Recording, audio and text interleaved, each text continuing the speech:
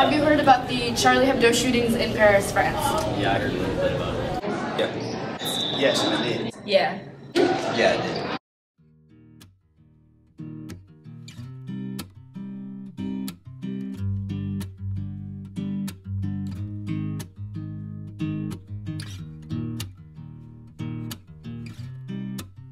Um, can you tell us more about what you heard this one on? Well, I heard there was, they had some uh, cartoons.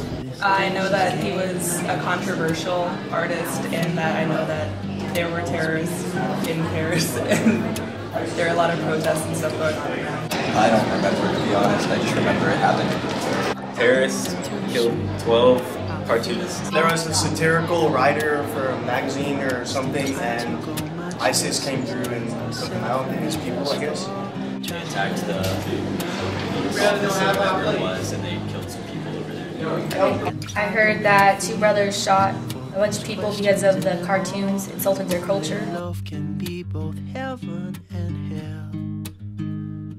So sturdy up, sturdy up your heart. Do you know, have you heard about what the cartoons were like, or just? I haven't seen the cartoon. No, I haven't seen them. No, I have not. I saw one. Alright, what did you think? I thought it was hilarious. This is one of them that's supposed to be Muhammad. The crude images of Muhammad the Prophet.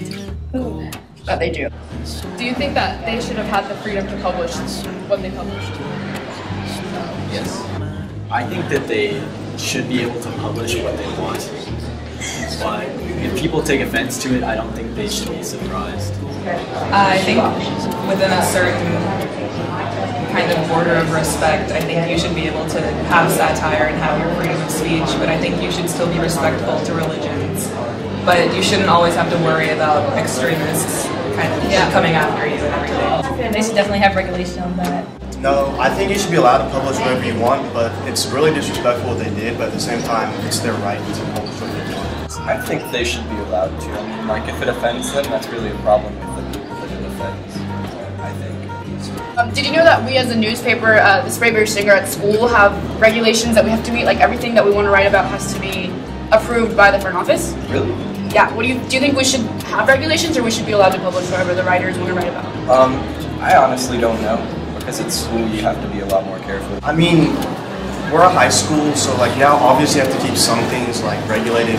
I think it's probably best in a high school to have restrictions on what you can and can't post. When she died, the ocean, my tears.